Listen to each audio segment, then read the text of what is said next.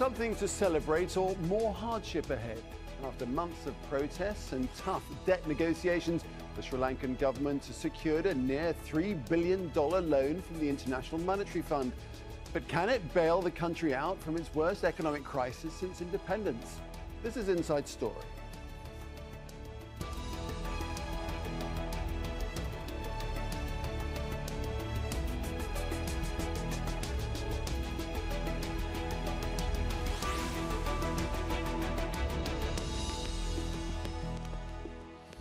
Hello and welcome to the programme. I'm Nick Clark. So, years of economic mismanagement and the impact of the pandemic have pushed Sri Lanka into its worst financial crisis since 1948.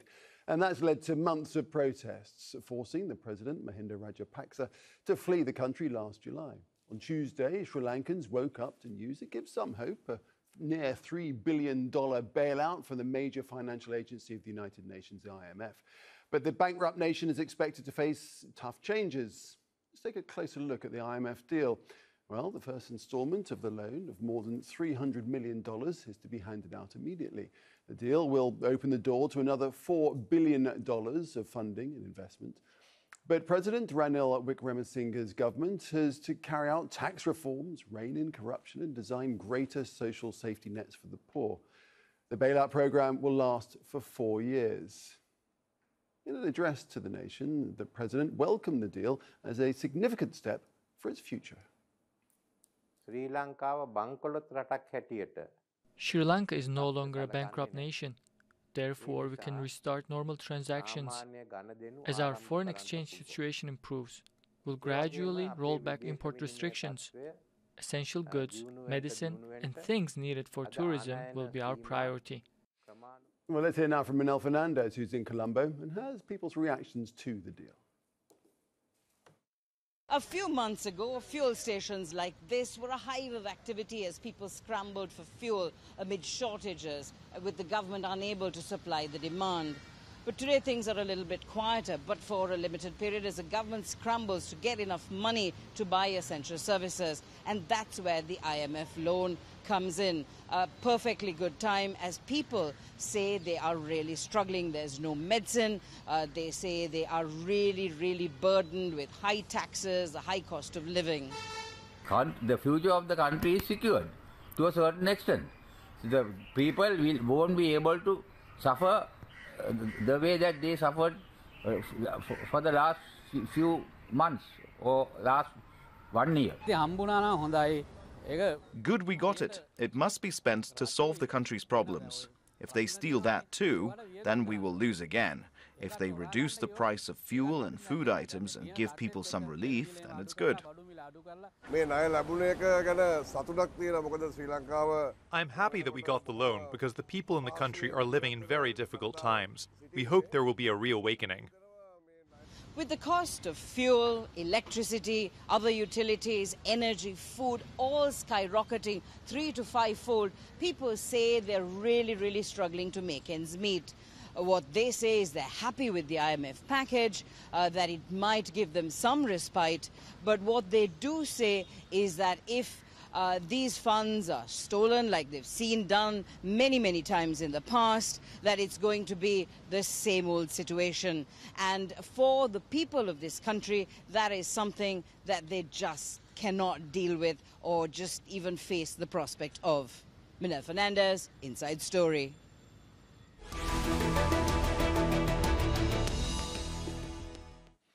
All right, let's take this on for more on this. Joined by our guests in Colombo, Eran Wickramaratne, who's a member of uh, Sri Lanka's parliament and a former state minister of finance. In Mumbai, we have Ganeshan Vignaraja, policy advisor and senior research associate for the Overseas Development Institute, and in Colombo, Ahilan Kadilgama, political economist and chairman of the Cooperative Development Bank. Warm welcome to all of you. And Ganeshan, I'd like to start with you first, if I may. Sri Lanka, as we've been hearing, has seen some very dark economic days in recent months. It's still going through them, indeed. Is this going to pull the nation back from the brink? So, this is the most uh, significant program that Sri Lanka has had in its history. And it will give some new money, not so much, maybe 720 million a year, but it could help to restore some market confidence and allow the country to begin to come out of this crisis. But this is only a start. There's a lot of hard work ahead. Uh, we have to complete debt restructuring. We have to ensure that we put in place pro growth reforms, including a green economy. And we have to ensure political consensus across the aisle so that there is buy in for this program for the full four five year term. You say it could help to restore some market confidence. Does really sound like a, a ringing endorsement, Ganesha? Well, the debt burden is quite large. I mean, there's 58 billion uh, dollars or so outstanding, and uh, I think the markets will be watching Sri Lanka to see that it actually credibly implements some of these difficult choices. So the tax rises are one. Uh, secondly, there is some expenditure control expected. A central bank bill has to be passed to make the central bank much more independent. And there's an anti corruption bill. Uh, so it's quite a tall order that has to be done, and hence this need for a political consensus across the aisle, uh, which will be quite a tough ask. Ahilan, what do you think? Significant moment, tall order?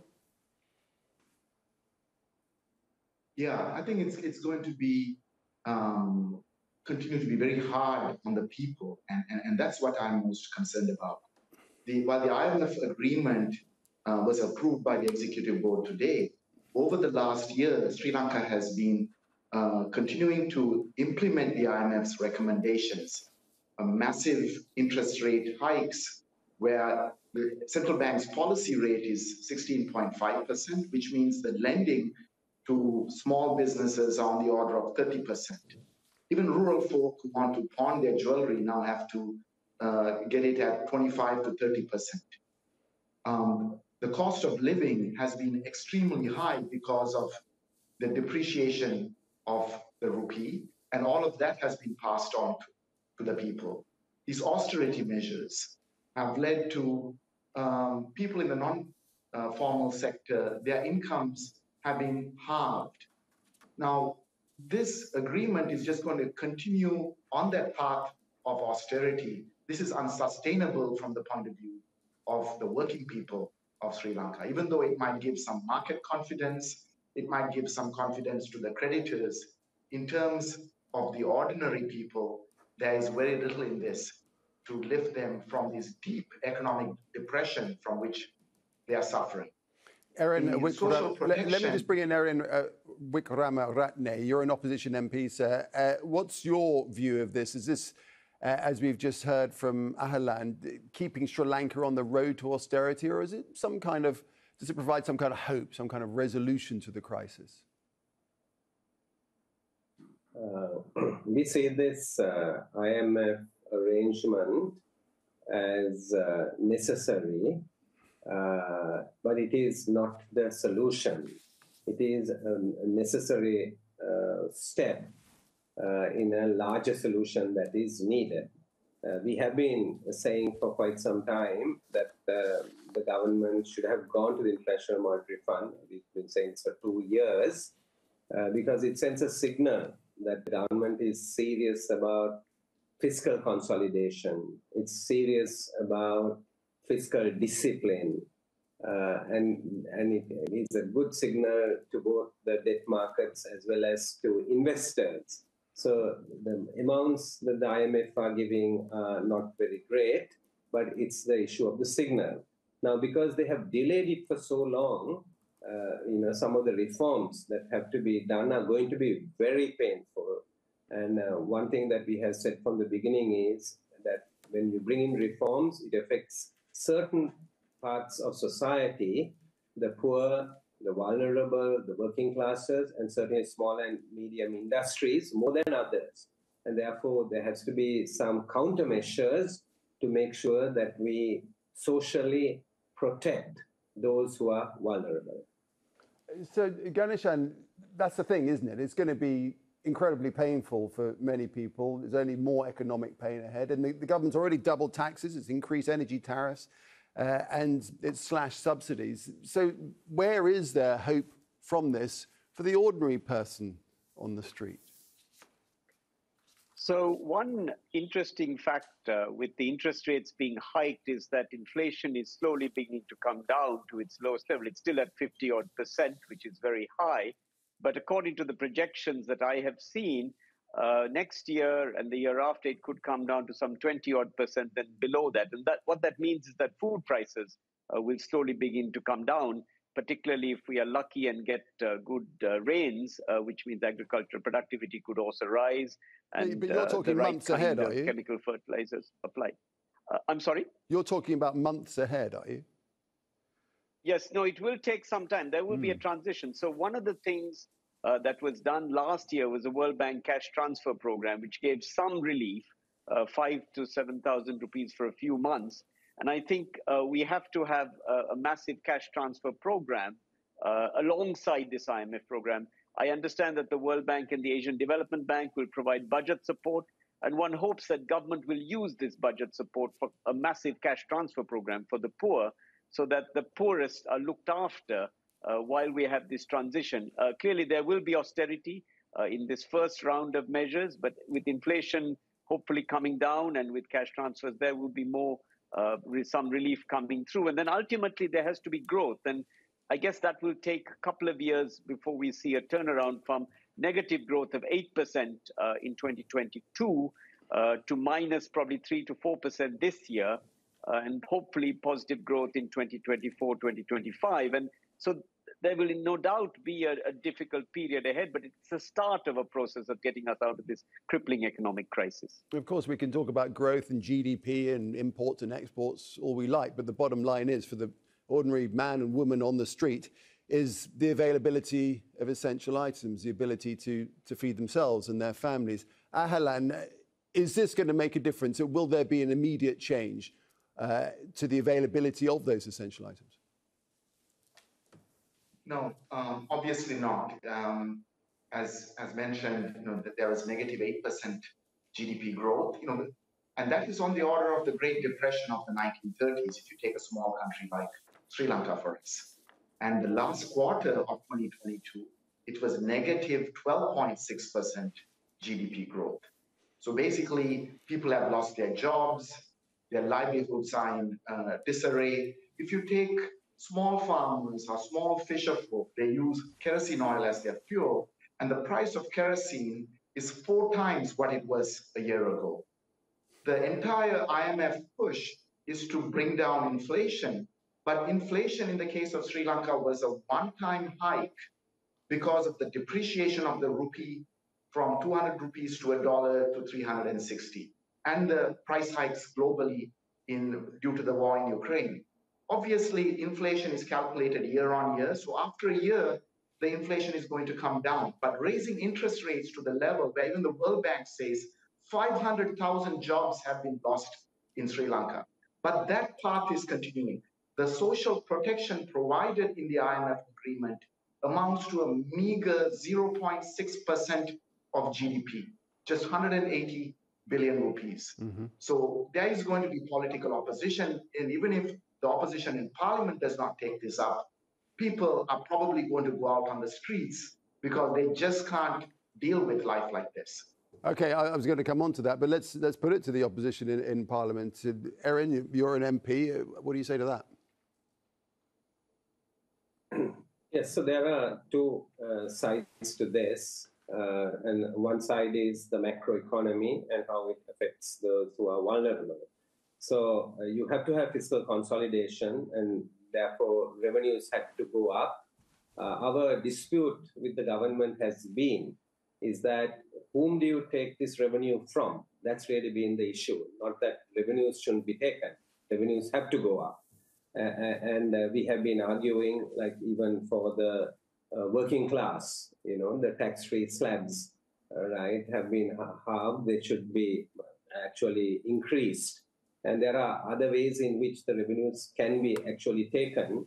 Uh, we've been championing those causes, but uh, uh, we haven't had much success uh, with the government on that. So I think how this affects uh, the poor, the vulnerable, and the working class is really the issue. And, it and is an issue. And that's, that's exactly what uh, the point that Halan was making, I, I, think, is, is the, the potential for protests on the street. Because if we keep on this road to austerity, we saw those protests last year, they're only going to come back in, in even greater numbers, aren't they? Yeah, so, so the, the, the social protection, right, uh, really needs to be speeded up. And uh, the government used to have a program, it's a highly politicized program. People have lost confidence in it and uh, now the World Bank and the ADB and the others are going to come along. Uh, but we want to say, even to these international organizations, right, going down the same road won't help. Uh, that social protection should be on a scientific basis because the methodology that is even being used now is unacceptable. They're okay, can I just, I just want to jump in there just for a second. I do, I do apologize for jumping in, but could you just explain for us what you mean by social protections? Yeah. So, for example, if you are making a social transfer to people, right, and we, we believe in social transfer rather than just in price manipulation. For example, if you have an international liter of oil, uh, uh, you know, let, us say at 400 rupees, right, giving that at 200 rupees doesn't solve the problem because anyway the poor won't use it. It'll be mostly the benefit will go to those who are actually have incomes. Therefore, you need to have direct transfers to the poor. Mm. And then the question comes in is how do you actually select the poor? And to select the poor, you need to employ scientific methods of actually selecting the poor, rather than you know, you know, people going around and trying to figure out where they live, whom they have voted for, what are their assets, and this kind of thing. This has happened in the past, and I can see a repetition of the same thing. That's what we mean. Scientific, I mean hereby use other indicators like consumption, maybe electricity consumption, like some university professors have okay. pointed out. It shows you if they consume below 30 kilowatt hours or 60 kilowatt hours, that means they don't have a refrigerator or they're very poor. And that's a more scientific basics. So social protection actually needs to be speeded up, and we need to make sure that those transfers are actually going to the poor. Because if they are not, reforms will not be able to go through because there will be social unrest. Exactly. And so what's your view on that, Ganeshan? People have been through a lot as it is. If, if these reforms don't happen, if, if the people don't see any result in the shape of food on their table, uh, how quickly might it change the mood on the streets, do you think? It, it's possible that there will be uh, some unrest down the line. There have been uh, some protests, but those are probably from a very activist community. Um, and indeed, you know, there is no question that the cash transfers uh, that one was talking about have to be accelerated very rapidly. And this new money, particularly from the Asian Development Bank and the World Bank, I hope will be largely spent on cash transfers rather than unproductive jobs necessarily in the public sector. Uh, may I make a correction of one of the points about the inflation? Um, cutting, uh, raising interest rates has had a large impact on bringing down inflation over time, um, as well as will the central bank bill, uh, if it gets passed, because they will take the central bank out of financing the government uh, budget deficit, which is a very important thing because the central bank in the past was used as a political football by uh, certain uh, political authorities and, and used to finance unsustainable government expenditure. So these two important measures will help. So inflation has to come down, uh, but with that cash transfers. And then I think we have to attempt to open the import regime to cheaper food imports um, when uh, reserves have somewhat come, and hopefully again, uh, the donor funding can be used to fund cheaper food to come in. Uh, because that's one of the other ways we can uh, make the living standards much more bearable for people um, as we as we go down the road. All right, let's talk about this big block of money that, that we've got coming in, three billion dollars nearly. Uh, where does the first tranche of money, it's three hundred million dollars, where, where does that first tranche of money uh, need to go, Ahilan? The, the, the, first tranche is expected in the next couple uh, days or within the week. Uh, 300 million, 330 million US dollars. It's going to be for budgetary support. The, all the IMF funds are going to be used for budgetary support over the next four years. But when you actually look at the amount, 3 billion US dollars from the IMF, 3.75 billion US dollars from the international financial institutions like the World Bank and ADB over four years. That's really very little when you look at, for example, Sri Lanka's debt stock or even our import bill. So that's um, approximately 7 billion US dollars over four years, so only 1.7 billion US dollars a year. But our import bill is something on the order of 15 billion US dollars every year. So this is not going to make such a difference in terms of us being able to import our essential goods. We are mainly doing it through our foreign earnings, through our exports, our remittances, and to a much less extent now through tourism.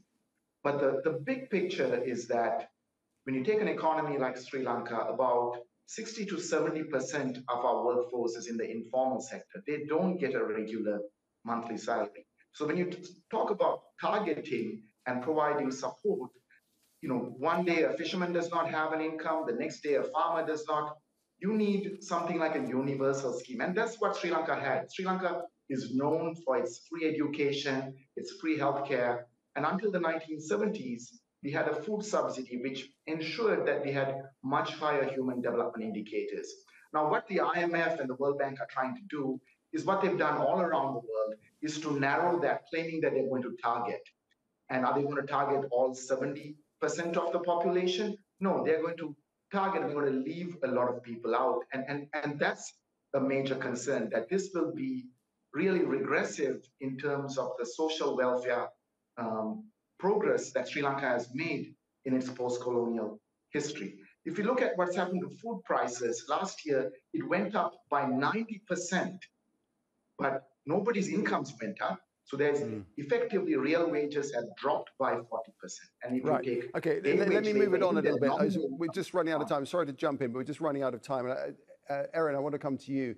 Uh, because there is this overriding issue of debt, and the deal is designed to restructure what is it, $95 billion worth of public debt. That restructuring is yet to be finalized. A great deal of the debt is owed to China, and their concessions to make this deal happen have fallen short of what the IMF expect.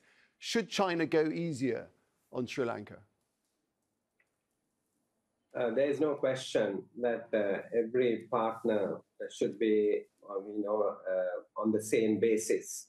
So China, India, Japan, and the Paris Club should be on the same basis. So we have to really talk to our friends, and we have to say that. And in the debt restructuring, my word of caution would be is we need to be careful that we don't tamper with basically domestic debt. Uh, we don't have a banking crisis, and we mustn't create a banking crisis. And I think that needs to be clear to everybody, otherwise, it will be self defeating. I think one of the big issues the government faces is actually this is a government without a mandate. And, and how are they actually going to push through the reforms? Uh, therefore, they have to do things that will build confidence. You know, they should. Uh, the low-hanging fruits will be is like dealing with corruption. The IMF has mentioned it, but we really haven't seen much action there. Build confidence. Ultimately, for Sri Lanka to get out of this, it's not going to be the IMF deal. We ultimately will have to attract investors to come here, and therefore confidence building is going to be very important. We have to get the economy growing because the economy is shrinking at the moment. And then we will have to basically make sure that exports takes precedence over everything else. Because if exports takes precedence and the dollars keep coming in, uh, then I can see that the you know uh, employment uh, opportunities will also grow. So social protection is short term, but actually the economy needs to grow and confidence building and a government having a mandate will be absolutely right. critical. Uh, Ganeshan, uh, Eran just mentioning corruption there. It is one of the chief conditions of the loan that corruption is uh, is tackled rapidly to try and root out the deep deep seated graft that there is. Are you confident that this the corruption can be beaten? I think we will need a new corruption bill and strong international scrutiny of our procurement, for instance. Uh, some of the Belt and Road projects that China gave us uh, were low return uh, and uh, politically directed, such as the famous Hambantota port and the Mattala airport. And I think you know those kinds of projects are unaffordable for a country like Sri Lanka. So we have to have a much better basis for how we fund our infrastructure. Another very important aspect is how political parties are funded in Sri Lanka and how campaign finance works. I think that's going to be another very important area uh, to be looked at. And ultimately, I think this economy has to go from a socialist styled, welfare oriented economy to a much more market oriented growth economy uh, in order to generate the revenue that we need uh, to fund the kind of social protection and welfare that we need without donors and without an IMF program. And it's my wish that Sri Lanka does not have to go to the IMF again in my professional lifetime. And that really means that we have to make these reforms work beyond the IMF. Uh, we need to have a comprehensive program of structural reforms uh, to make the economy much more open to trade. To green the economy, we have to have this green transition, and we have to make the economy also much more inclusive. And that means the small and medium enterprise and the informal sector have to be made much more productive. At the moment, their productivity is very, very low, and the skill base is very, very low. So, in a small country like ours, I think all these things are possible if we have political consensus on taking these things forward and creating a wealthy economy for the next generation of Sri Lankans. Okay, uh, if I can come to you, uh, isn't that the thing that economy, the sectors of the economy need to be developed further, and there is no state-led grand plan to do that. There's no specific area where, where things are being focused.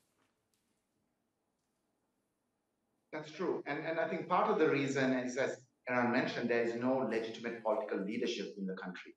When a country goes through an economic depression, you need a legitimate and a, a leadership that can lead the country. We have a president who was elected by parliament, not even elected by the people. So first, we need a political leadership. And in terms of the focus, I would say the focus should be on agriculture and the food system. Because Sri Lanka is in grave danger of even a famine if are not careful. The economy is collapsing. Families in rural areas are eating one or two meals a day. And finally, you know, we have to reckon with how we came to this crisis. The elite of this country gained much. If you look at Colombo, over the last 10 years, the luxury cars, the buildings, the elite have gained, and we need something like a wealth tax so that the elite pay back all that they extracted over the last two decades.